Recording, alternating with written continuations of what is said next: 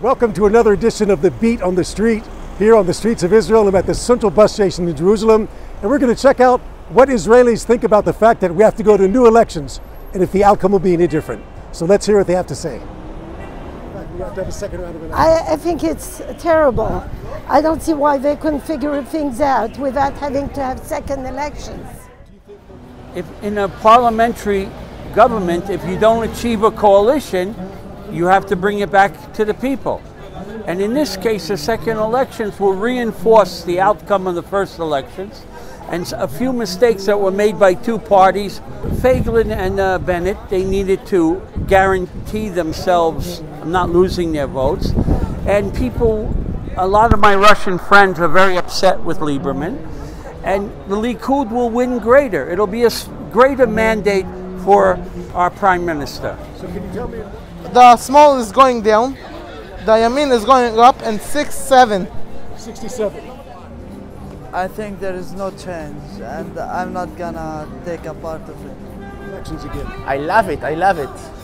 I think Likud will be very, very powerful.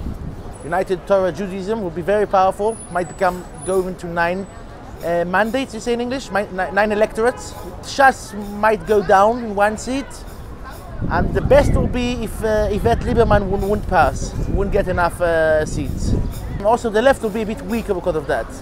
I believe about 70, 72 uh, to the right, and the rest will be leftist, Arab. I I have a theory, a conspiracy, that could be Lieberman and Netanyahu did it on purpose. Or Netanyahu insulted Lieberman on purpose because he doesn't want to join the the peace uh, suggestion of uh, Trump. And now everything is delayed after the elections. So it could be it's on purpose. Politicians should be serving the country, and the politicians are serving themselves. I hope so. That there will be different outcome, and that the ones causing these new elections will be punished. People will get stronger. I think Bibi will get stronger, and we really hope he will because he's great, great government. We have a lot of, of grateful for what he did for uh, the Israeli nation. I'm very sorry for the Israeli because they lose much money. I think they should have um, made something else with this money they use for the second election. pretty much a disaster. Uh, I hope things will turn out to the best. It's obviously not a good sign. I mean, the government's kind of falling apart, and um, I just hope this time it'll be a more steady.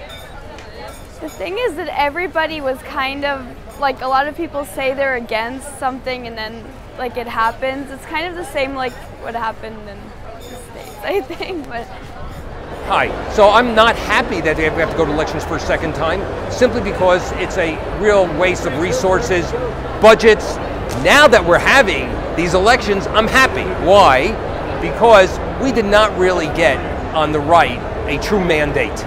It was very mixed, and, and there was a number of reasons for it. What happened with the Feiglin Party, what was happening with uh, Naftali Bennett, and I'm really hoping we'll get a lot more clarity uh, and what Lieberman, of course, did, we'll get a lot more clarity in this election to really support sovereignty and the uh, indigenous rights of the Jewish people in the state of Israel.